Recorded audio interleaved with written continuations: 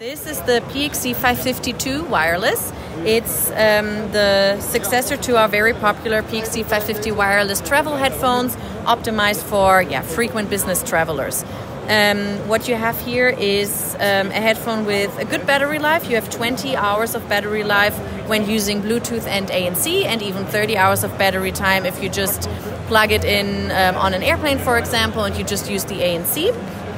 Um, you have adaptive noise cancellation for this one. So if you're, for example, moving from a very loud plane into a quiet airport uh, lounge, then the noise cancellation will adapt.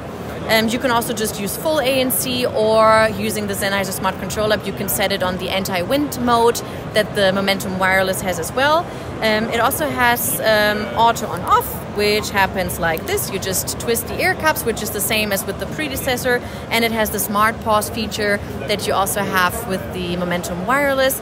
And both products also have a transparent hearing function, which on this mode, uh, on this model, you activate with a double tap on the right ear cup.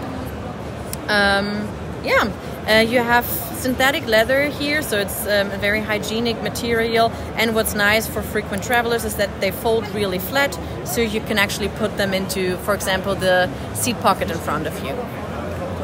Um, for the PXC, uh, we also have some some additions like um, a voice assistant button that lets you connect instantly to the voice assistants that you use.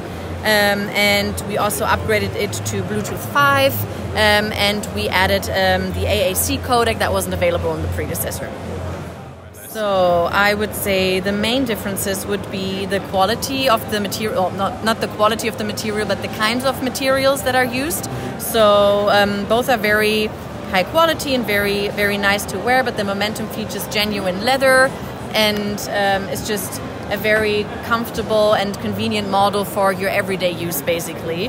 Whereas the PXC 550 um, Mark II is um, is really optimized for people who travel a lot. Um, in terms of sound, I would say the Momentum has an even greater sound stage. It uses a, um, a bigger transducer, so um, just for for all of your kind of everyday audio needs, it's a very good companion. Um, whereas the PXC really serves as a as a good travel buddy.